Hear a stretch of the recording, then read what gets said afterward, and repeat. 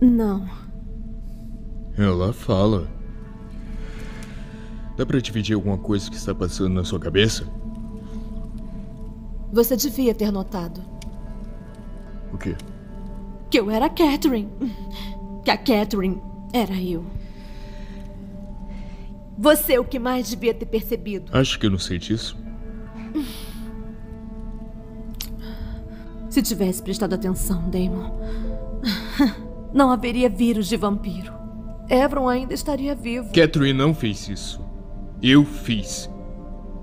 Achei que você tinha me chutado e ataquei o pescoço do Aaron. Esse é o controle que você tem sobre mim. E eu ainda tô aqui. Esse é o controle que você tem sobre mim. Escuta, gente. Isso é tóxico. Nós dois temos uma relação tóxica, Helena. Eu mato seu amigo e você tenta colocar a culpa em outra pessoa. Você quer que eu te culpe?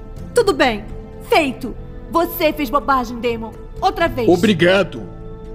Você me coloca numa posição onde eu tenho que te defender outra vez onde eu tenho que distorcer meus princípios outra vez, onde eu tenho que ir contra tudo que eu acredito outra vez porque eu te amo. Então para de me amar. Não dá.